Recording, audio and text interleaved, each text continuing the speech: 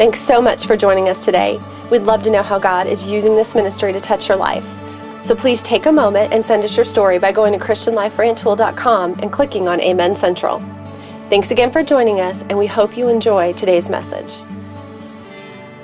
If you are visiting with us, you picked a good week because we are starting a brand new series and we're calling it Relationships Matter.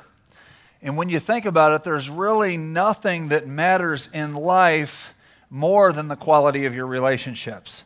I mean, you can make millions of dollars, you can climb the corporate ladder, you can have the respect of your peers, but it's all going to be empty and meaningless if you don't have meaningful relationships in your life. I heard someone once say it like this You'll never be happier than the quality of your relationships. And I'm just telling you, church, that's true. Beyond our relationship with God, the most important relationship anybody can have is that of a man and a woman in the context of marriage. And that's what we're going to talk about today. In fact, this relationship is supposed to model Christ's love for his church, and it's supposed to be appealing to those outside the church. We're going to talk about why the Bible explains, and I don't think I need to really spend a lot of time on this, but how many of you know marriage really isn't working today? I mean, you know the statistics. I don't need to go over them, but marriage is broken in a lot of ways. And the Bible's going to tell us why that is, but more importantly, what we can do to establish strong relationships. Jimmy Evans has been quoted as saying this Your marriage has a 100% chance of success if you'll do it God's way. And you know what? That's not just a fancy quote to me because my wife and I have actually lived that out. When we came to faith in Christ. We were a year and a half into marriage and we were on the fast track for divorce. In fact, my wife was already planning how she was going to leave me, and I was just going to be one of those guys who never saw it coming and said, I don't know what her problem was, but I should have saw it coming. And the real, reality is, God put us back together. And the, you know what the word says? He's no respecter of persons. What He can do for one, He will do for another. And some of you, you may be coming in here struggling this morning, but I wanted you to leave with hope our prayer is that God gives you one thing to work on. And you know what? Cheryl and I this year will hit in September our 20th wedding anniversary. And um, you know what? There's a lot of you that are. Um, thank you for that. Uh, there's some of you in this room that are 50 years plus, and the reality is we've got a whole lot more we can learn from you than you can learn from us. Uh, the real reality of it is you're probably going to learn a lot more from our mistakes than you will from what we get right. But that, that's the deal we've made with God. If He can use anything in our mistakes to better your life, then so be it. It is, it is free for Him to use. But our prayer is this one thing you will leave with one thing that will dramatically improve your marriage over time. Let's pray. Father, we just uh, thank you for your Holy Spirit. We feel His presence today powerful in the first service, God. We believe it's going to be the same in this one. And I just pray, God, that you would speak to hearts. Anybody discouraged, anybody who feels like their relationship is irreconcilable, God, Father, your, your word clearly shows that that's not true. There is always hope, but God, we got to do it your way. So as we study what your way of marriage is and how it's supposed to work, God, give us the grace and help us to find the one thing that, God, we can implement to make a dramatic difference in our lives. And God, do it for your glory. In Jesus' name, amen. Amen. If you have your Bibles, I want you to turn to Genesis chapter 2. And uh, I think I started in verse 18 in your sermon notes, but we're actually going to, for time's sake, go to verse 21. And this is really how God defines marriage right here in the beginning of the Bible, Genesis 2. And it said, And the Lord God caused a deep sleep to fall on Adam, and he slept. And he took one of his ribs and he closed up the flesh in its place. And then the rib which the Lord God had taken from man, he made into a woman, and he brought her to Adam. And Adam said, This is now bone of my bones and flesh of my flesh. She shall be called woman, because she was taken out of man. Therefore, a man shall leave his father and mother and be joined to his wife, and they shall become one flesh. We see three things as the Lord defines marriage.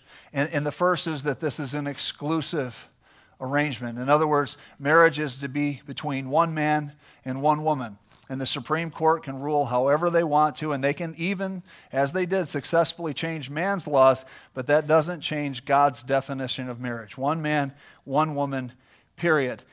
The other thing that we see is it's sacred. And you know what the problem is in our society today? Nothing sacred. Nothing sacred. And you want to know why? You want to know the result of that, I guess would be better said? Its marriage isn't working. That's why it's working. See, see, when it's not a covenant, and that's what we're talking about. By the way, the word covenant just simply means to cut. And in Old Testament times, they would cut up uh, different kinds of animals. And the idea was, so shall it be done to us if we break this arrangement. But it was a covenant. And this is what God did with Adam. He cut into Adam. Now, the word doesn't say that, but it does say he put his flesh back. In other words, God just didn't supernaturally transpose his rib, he actually cut Adam. There was shedding of blood. Without the shedding of blood, there is no covenant. So this was established as a covenant. Let me tell you the difference between a contract and a covenant. A contract, what we do is we protect our rights and we limit our responsibilities. That's why you would go to an attorney to set up a contract. That's, that's why, really honestly, prenuptial agreements are really doomed from the get go because there was a lack of trust right off the get go. They were just trying to protect themselves. And then a covenant, we, we contrast that. We give up our rights and we pick up our responsibilities. Do you see the difference? It's a huge difference, and it's why Christian marriages aren't working. When we hear the statistics that divorce in the church is the same in the world, you want to know why? Because we're treating it as a contract the same way that they are. But here's, here's something else to think about, too. Do you ever realize that there are Christian couples out there, or non Christian couples, I should say, that have great marriages? You probably know somebody, they're not Christian, but you know why it works for them? Because they're treating it as a covenant. Biblical principles work whether you're a Christian or not. And some people follow biblical principles and make it work, and sadly, too many in the church don't, and it's not working. Are you following me so far? The, the last thing is it's in a permanent union. In other words, God says this is an everlasting covenant. There was no intention that this would ever be a temporary thing. And, and you know what? You find couples that sometimes, uh, and you probably have known somebody like this, or maybe you were involved in a relationship like this, but they can't wait for divorce, right? Because the marriage is bad and unhealthy, and they just really don't love the person anymore. But then what happens is they get out of the marriage, and then they go through all this unimaginable pain, and they can't figure out why. And the reason is, is because they broke covenant. Okay? And God has a way that He can heal that, but, but that's the reason for the pain, is because they actually broke covenant before God. I want to talk to you today about some indicators of a lasting marriage if you're taking notes. And, and really, what, what I mean by this, these are signs that, that you're actually in a covenant relationship. It's not just a contract to you if you're following these steps. And, and again, I'm just going to share with you some things that Cheryl and I have learned through the years. Some of this has been uh, through personal counseling that I've gone to. Some of it we've just figured out on our own. Some of it's been through teaching, and, uh, and I hope you learn from it. The first is a strong spiritual foundation. There's this story in the Bible that we refer to as the woman at the well. And Jesus comes up to her. She's a Samaritan woman, and he says to her, Woman, will you pour me a glass of water, cup of water? And she says, How can you, being a Jew, say to me, a Samaritan, give you water? Okay, now what you need to know is that in the Jewish law, the, the Samaritans and the Jews were not supposed to be interacting. And Jesus says to her, He says, If you knew who was asking you for the water, you would ask me for living water, and you would never thirst again. Well, the lady thinks that's a pretty good deal. So she says, Sir, give me some of that water. He says, Well, I'll tell you what, bring your husband. And she says, Well, I don't have a husband. He says, You're right in saying you don't have a husband. You've had five, and the guy you're with now, he's not your husband either. And when you hear that, there's kind of, at least in me, there's a little bit of a pushback because it sounds like Jesus is being so harsh, doesn't it? But, but you know what he's saying? He's saying, You have deep needs that only I can meet. And you can go through a hundred husbands, but they're never going to be able to fill, fulfill that part of you that I made for only me to reach. Are you tracking with me? And you know what? I want you to tell you the church, it's the same thing for us. if you are looking for your spouse to be Jesus for you, you're in for a disappointment. We can make pretty good husbands and pretty good wives with, with the help of God, but we make terrible saviors. And, and I'm just telling you, some people come into relationships, you know, we all come with some kind of deficit, right? We all come with some kind of deficit, and we're expecting our spouse to make up for that part of us that's lacking. And I'm just telling church, it doesn't work. Only God can do that. So we need a strong spiritual foundation, and that starts by establishing that upon the rock of Christ Jesus. Remember, your marriage has a 100% chance of success if you'll do it God's way. And you know what that means? That means you got to let God call the shots. Years ago, I had a plan. It's been said if you ever want to make God laugh, make plans. So I had this plan, and my plan was I was going to be done having kids by age 30.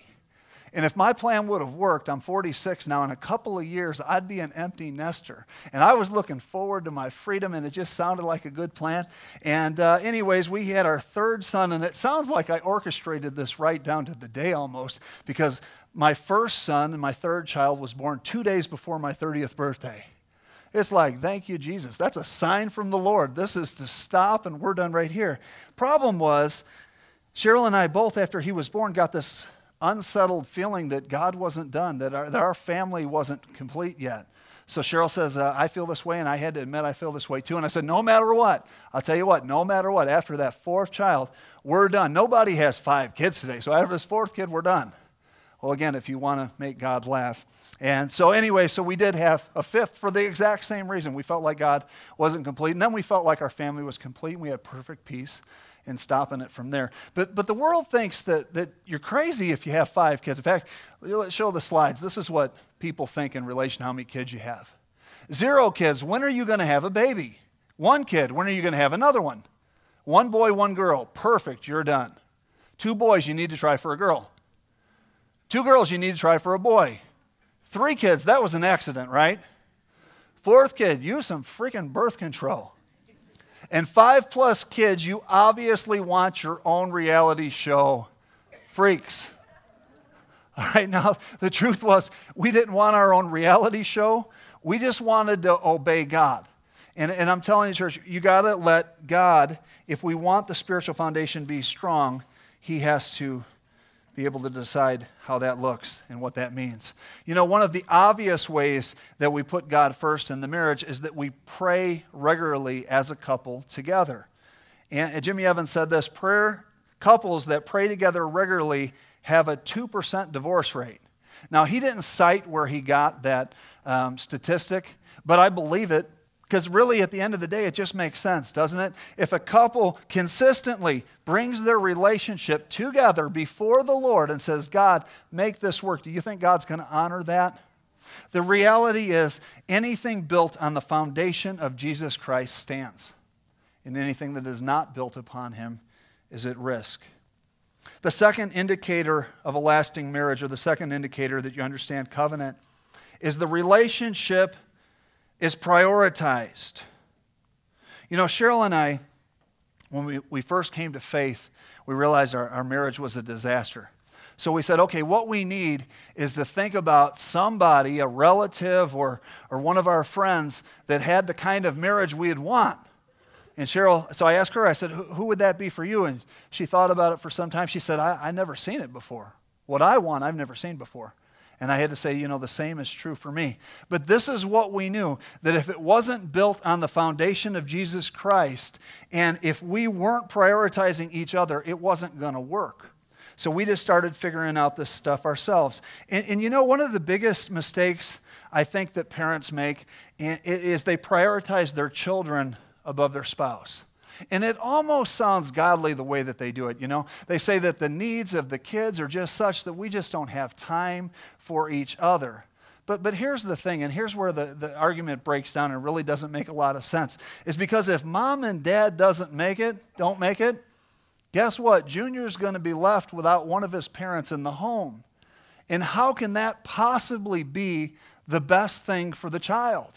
That's why the Bible says you will leave your mother and father and cleave to your wife. It didn't say you cleave to your children. And yet, all too often, that's, that's what we see. So, Cheryl and I, part of our prioritizing of our relationship was to do a date night. So, we started this, I don't know, maybe five years ago. Every Thursday night, just about no matter what, we, we try to hit our date night. And I like to talk about it a lot in church because probably a dozen guys throughout the years have come and said, Hey, I implemented that and it's been really good for my marriage. By the way, ladies, you're welcome if that happens to be one of you today. But it would be my desire, really, that everyone would do that. That would they take a night a week and just spend some time with their spouse. It's so valuable. But last year, the Blackhawks happened to play a Stanley Cup home game on Thursday night. So I thought, what's more romantic than grown men smashing their faces up against the glass? Maybe it's just me. So I went and got tickets, and then my boys heard that I got tickets for the game, and they said, Dad, that ain't right.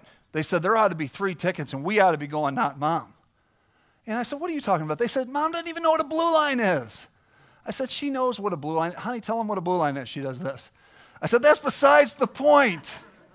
And they said, But dad, it proves that she's not into hockey. I said, Yeah, but she's into me and we're going to a hockey game and we're going to enjoy ourselves. I went all out. I even, I think we have a picture. I even got her a sweatshirt with the Blackhawks here.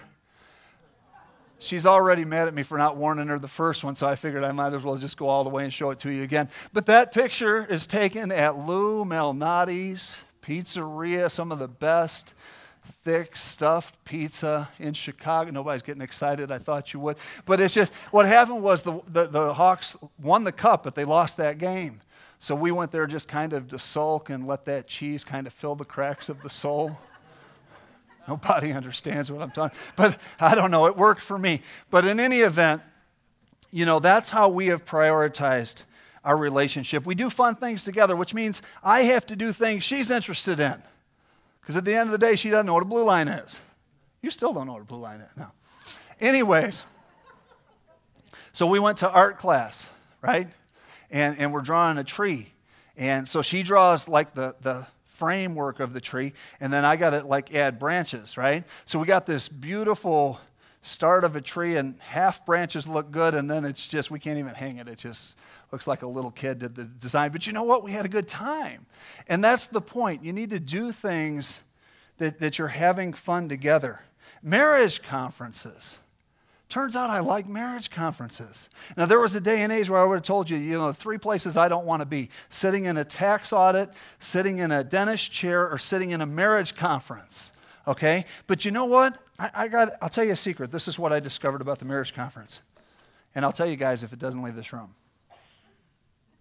Deal? Women feel romantic at marriage conferences. They do. I love marriage conference. I'm like a marriage conference groupie. I, I, I can't get enough of them. All right, but, but you know what? Great marriages, guys, seriously, just don't happen.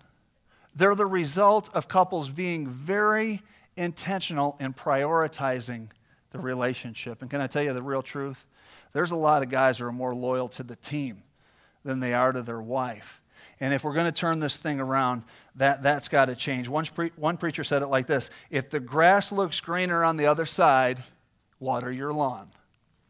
Point two, indicator of a lasting, point three, indicator of a lasting marriage is affection. Now, there's some people who think that you shouldn't show affection in front of your kids. And I just tell you, I, I adamantly disagree with that. We, we gross our kids out okay? Now, I, I, mean in an appropriate way, right? But I mean, we kiss and hug in front of our kids. We don't think anything of it. A couple weeks ago, maybe a month ago, we, we got back from date night. It's Thursday. Kids were in the basement. They didn't know we're home. So we're in the kitchen, and we're just kissing, and one of, one of the kids walks in, my son, and he says, oh, come on, guys, get a room. I said, you know, what, that's a great idea. We need to put your little butt to bed first, though, right? he hadn't told us to get a room since then. All right? But, but you know what? in all seriousness, you know what that does for your relationship with your kids? Because I guarantee you, your, your son or your daughter knows somebody at school, they got a teammate, a classmate, somebody, maybe even at church, who's going through a divorce, who's been through a divorce. And you know what that does? It puts a little insecurity in their little hearts, right? But when they see that mom and dad are affectionate and they love each other, you know what? They, they know it's going to be okay. And it's so important that we show affection in, in front of our kids. And you know what? It's just important for us and for our relationship, you know? Uh, one thing that Cheryl kind of called me on was on, on our honeymoon, we held hands in public everywhere we went. you know? And then after that, it's like, you know, we'd be in the mall, and I'm like, all right, we're in a mall. Do we really need to hold hands? And, and she called me out. She says, you know, on our honeymoon, you had no problem holding hands. And so I just, you know, started, and I drew the line because she'd like to swing, and no, the arm is stationary, okay? See a group of guys, I'm not going to come by swinging. It's, it's up. You know, I wanted to But you know, we, we, we need to be showing that affection. We need to be showing that affection. And, and, and let me just say this as we finish up with affection that affection needs to be exclusively for your spouse. And, and you're saying, you know, really that shouldn't even need to be talked about, right? But I'll tell you, in the marketplace, I've just seen things over the years that are so alarming to me. And one was, I was about 25 years old and I worked in Chicago. And uh, we worked with a lot of nurses. And there was another guy, he was about my age, and I don't know how to explain this guy, not trying to be mean, but I just say he's kind of a creepy guy. You know, he wasn't a good looking guy. Um, he's just kind of weaselly. And, uh, anyways, we had this nurse and really pretty lady. She was probably about 40 at the time, considerably older than us. And she was a Christian woman, shared her testimony with me, actually, really started drawing me back to God. And, anyways, she was stressed out at the nurse's station one day and, you know, just stretching her neck. And he came up behind her and just started giving her a massage. And she's like, oh, that feels so good. And he's rubbing her. And, you know, again, I'm not a Christian. I'm not walking with God. But afterwards, I, I pulled him in the back room. I said, dude, that's completely inappropriate. She's a married woman. And he's like, and it's just, I'm just helping her to relax, you know, lighten up. Okay, within two weeks, they were having an affair you know and i've seen things like that i'm telling you it, it's he, he's the kind of guy that the bible says draws away gullible women from their homes okay but can i tell you there's gullible men too and this is what we fall for. We fall for that woman in the gym or in the workplace who, who's just flattering us, right? And, and it's subtle at first, it, but, but the problem is it, apply, it, it attracts our ego. We want to hear stuff like that, and especially if you're not hearing it from home. And, and, guess what? You just start, well, I can play around with that. But, but can I tell you, you can't. You know? And th- this woman, you'll know her because she laughs at your messed up jokes like they're really funny. Right? But you know what the Bible says? The Bible says, can a man pour hot coals into his lap and not be burned? And that's exactly what you're heading for. And I'm bringing that up because some of you this morning, that's your one thing. You need to knock that off. There's someone out there making inappropriate advances to you, or you're making inappropriate advances to them. And can I tell you, church, it's a dangerous, dangerous thing. This is what Proverbs 5 says, and this verse is talking about sexual intimacy, which you'll see in a minute. It says, Drink water from your own cistern, running water from your own well. Should your springs overflow in the street and your streams of water in the public squares?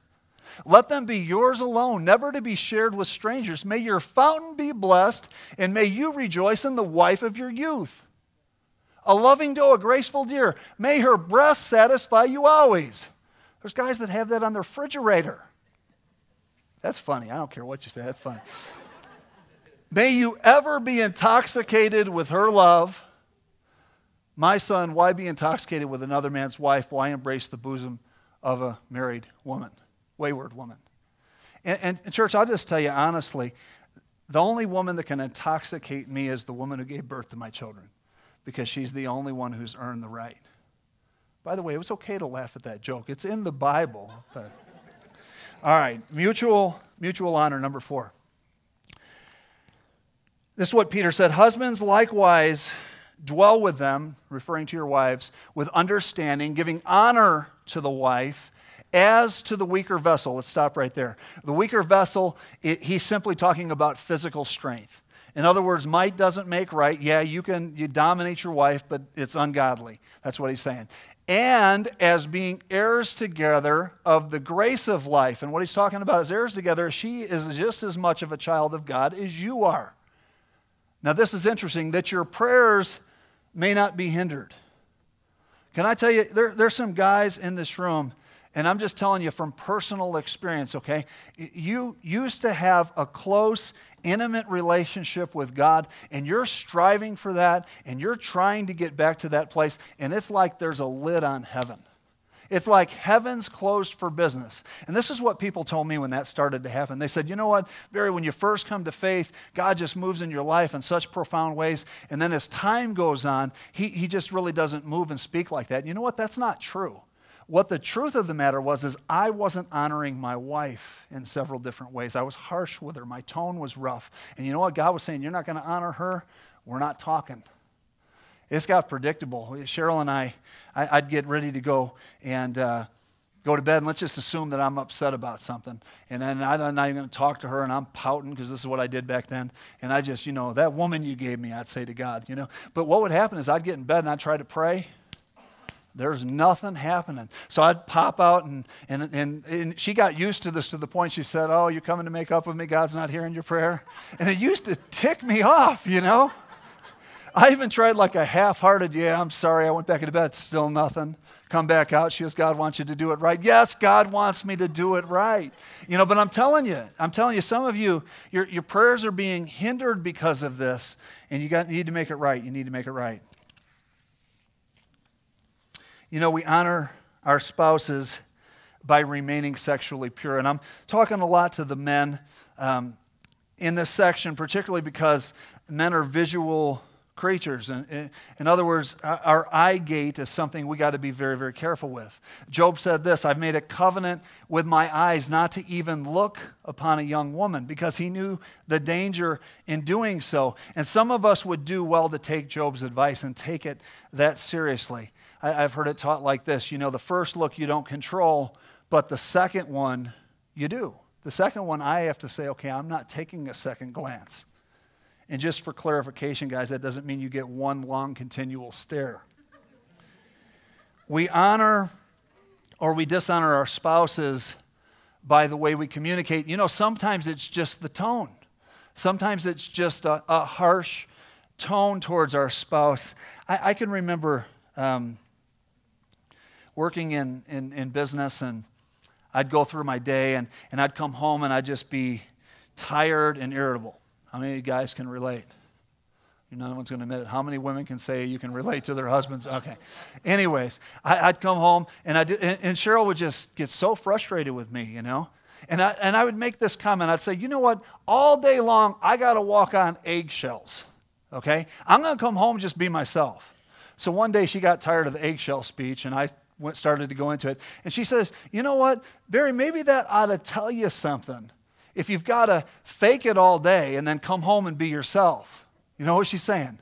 You know, you're pretending not to be a jerk when you're really a jerk, and then you come home and just be a jerk. Come on, somebody. And, and the realization is, I needed God to change my heart. You know, I needed my tone to change towards my wife. Don't they deserve at least as much respect as some stranger you're meeting in the workplace? As much as your coworkers? You know, one of the ways that, that I honor Cheryl is uh, the kids see me open car doors for her. Um, they know mom's queen bee. You know, this is just the way that it is. And they also know that if, if they disrespect me in some way, there's going to be consequences. But if they disrespect my wife, they know that's a capital offense. And I'm telling you guys, it's important that you establish that in your home. Um, my, my kids know that's do not draw the line. I don't call them, call her their mother. I call her my wife. You disrespected my wife. You know what mutual honor means? It means that there's no room for secrets in marriage. Some of you, this is your one thing. You got a secret. It may be a big thing, it may be a small thing, but you got to open up and you got to bring that out into the light if you want all God has for your marriage. And I'll tell you, ladies, I talked a lot about men in this section. Um, your, your husband's primary need is for respect. And if he's not getting it from you, there's a lady out there somewhere who's going to tell him how awesome he is, even if he isn't. And I'm telling you, it's just a dangerous game to play. You need to be honoring our spouses. Believe the best. We'll hit this quickly. We're running out of time. Um, Andy Stanley says there's a, a gap between oftentimes what we expect from someone and then the actual result. Okay? And, and he says what you put in that gap makes all the difference in the world. So, in other words, let's say I come home with flowers for my wife, just as a hypothetical situation. This is what I'm expecting to happen as a result of that. I'm expecting her to tell me how awesome I am and to give me a hug and just, you know, maybe that leads to something else later, right? But instead, what I get is the cold shoulder and it's just like, oh, that's nice. And, and she's, okay, now I got a choice, right? I, I can just say, there she goes again, unappreciative, right? And that's what a lot of us do. A lot of us would give a lot more respect to a stranger than we would to our spouse. We'd give them the benefit of the doubt, but we don't give our spouse the benefit of the doubt. But if instead I, I just say, you know, honey, what's going on? Are you having a bad day? Guess what? That turns into this beautiful relationship where I'm actually there to encourage her instead of starting World War III because I brought home flowers. And some of you know what I'm talking about. It's those stupid arguments. It's like, how did I bring home flowers and it turned into this big knockdown dragout? It, it did because you didn't put in the gap the benefit of the doubt for your spouse. I need to pick up the pace. Number six, indicator of a lasting marriage is that they resolve conflict quickly. If you've been married for more than a month, you know that, that you're going to have conflict in your marriage, right?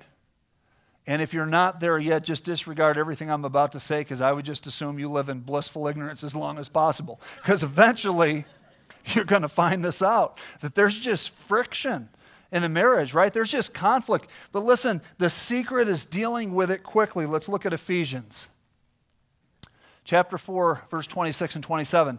There, there's a lot in this. Be angry and do not sin. In other words, you're going to get angry. But when you do, don't sin. Do not let the sun go down on your wrath, nor give place to the devil.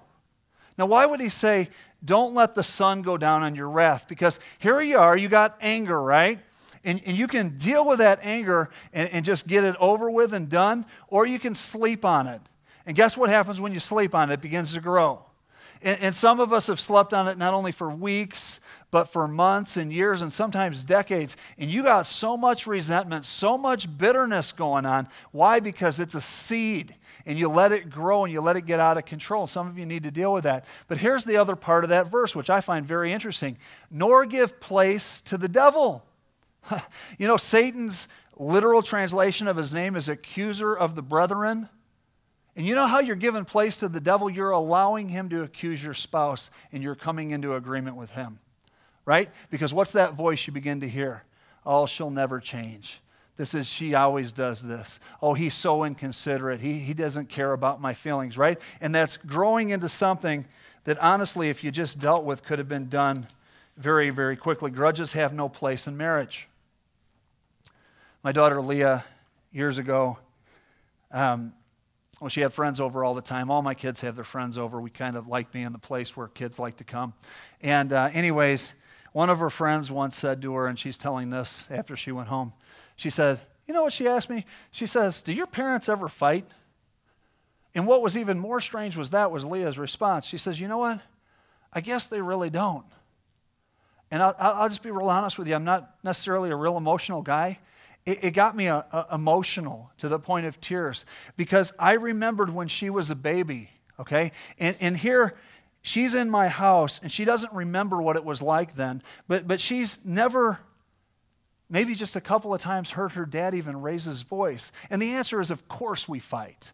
But we do it behind closed doors, and really, we never are raising our voice, and we finish this real quickly. But there was a day when she was little that the neighbors knew we fought that cars driving through the neighborhood knew we fought. You know, there was no mistake about it. And I thought about that, and it just was like, God, you are so awesome. It just made me want to glorify and worship God who did this transforming work in our lives. And can I tell you, church, He's no respecter of persons. Bible says what he'll do for one, he'll do for another. And some of you, that's your one thing. That's your one thing. You need to start dealing with this stuff. Last but certainly not least is about speaking life. Indicators of a lasting marriage is that they speak life. This is what Proverbs 18 says. It says, A man's stomach shall be satisfied from the fruit of his mouth, from the produce of his lips he shall be filled. Death and life are in the power of the tongue, and those who love it will eat its fruit. Now listen to this. He who finds a wife finds a good thing and obtains favor from the Lord. I find it interesting that those verses are put together. Now, in fairness, sometimes Proverbs just jump all over the place and they go from different themes all throughout. I think this was intentional, though. I think what God is saying is you have the power to bless or curse your marriage with the words that you choose. I was talking to a lady this week, and um, she called me for a different reason, but in the course of conversation, she says, You know, Barry, I just want to share something with you. She says, My husband's just been unbelievable lately. I said, Oh, yeah, how so? She says, He's just been sending me little text messages. I said, Really? She says, Yeah, he's just saying, You're so cute, and I, I just miss you. And, and I'm like, Really? He normally doesn't do this? She says, No, never. But he's been doing this for several weeks. And she said, At first, it freaked me out. He came home. I said, Who are you and what'd you do with my husband? You know? And, and, at first, some of you guys might start freaking your wives out. But, but over time, boy, it makes such a difference. You know, what, what I'll do is I go home for lunch because obviously I work in town here and um, I see my wife then, but I try to call her through the day. And if I don't have time, sometimes even I don't have time to text, I'll just send one of those little emojis, you know, a little guy with hearts in his eyes or something. And uh, you know what? Just something little like that means so much to her. I kind of like the emojis coming back my way, too, by the way. I had to ask in the first service if that's even how you pronounce those things. Um, you know, before I got married, my, my dad gave me some advice. Now, what you understand is my dad wasn't a Christian, uh, but he accidentally gave me some pretty good advice, you know, biblical advice. And the one thing was, he says, Barry, you know, you, if you're going to go through this marriage, you know, eh, don't cheat on her. If you're going to do that, just don't get married, you know. And of course, I didn't believe in that, and that wasn't a big deal. But the better advice he gave me, he says, you know, there's going to be times when she's the person you dislike most on the face of this earth. And you're going to be tempted to use the divorce word. You're going to be tempted to threaten it. You're going to be tempted to throw it out there. And I just want to tell you that once it's been thrown out there, you can't take that back. And what he was talking about was a woman's primary need for security. And once that's breached, there, there's a problem. So, so several years after that, we come to Jesus, and I'm leading a probably a decade or so ago. I'm leading a small group in our home, and I've got this lesson on marriage, and I think it's pretty good. I put a lot of effort into it. Actually, it's a lot of the stuff we're talking about today, and I'm getting ready to throw this on the group. And, and kind of last minute, I feel like God's saying, "Forget that message, and I want you to talk to them." About the dangers of, of, of using the word divorce and threatening it. And, and I said to myself, I, you know, I wasn't trying to be disobedient. I really just thought, everybody knows this. You know, like everybody had the conversation with my dad or something. I just thought, Christians don't do this, you know. I said, God, this is, it can't be you. So I just went through with my lesson. I don't know if you've ever um, taught a lesson or you preached or anything like that, but there's times when, you know, your words just go out and they hit a wall. In other words, there's no anointing on it. And I'm looking at, man, people are glassy eyed. People are looking out the window. And I'm like, this is good too. I'm thinking, what's wrong with these people? And I thought, you know what? I'm just going to go with what I thought God told me. So I just stopped the lesson. I said, you know what? I prepared this lesson, but really what I thought God wanted to say today is that, man, don't ever threaten divorce in your marriage. And I'm thinking, boy, do I feel silly now. And I'm getting ready to go to another topic, you know, and hit back into my lesson. And a girl just starts crying. And she says, I, I, I told my husband that yesterday. And they stood up and kind of came together and they hugged and she asked for his forgiveness. And then um, it, it, wasn't too much longer that another couple got up and they say, hey, you know, we talk like that all the time. We've, we threaten divorce constantly. And then there was a third guy who stood up and he says, you know, I haven't done it in a long time, but, but I've done that too. And we had this beautiful moment to where they really repented before God and before each other. And, and God just did a restoration work. In fact, all three of those couples come to Christian life today, and they're all doing exceptionally well, by the way. All glory be to God. Okay? But, but I, I, I just kind of felt the need to bring that up again today. And, and maybe that's just me, or, or maybe some of you need to hear that. Maybe somebody, that's your one thing. I, I want to tell you this words, the same way anger is a seed that can grow into something very unhealthy, your words are seeds. And they always produce a harvest. They're going to produce a negative harvest or a positive harvest depending on how you use them, but they always produce a harvest, church. And that's not the harvest you want, but you know what? You could repent of that and you can make that right with your spouse today. Thanks for joining us today. If you have any questions or want more information, please visit ChristianLifeRantoul.com.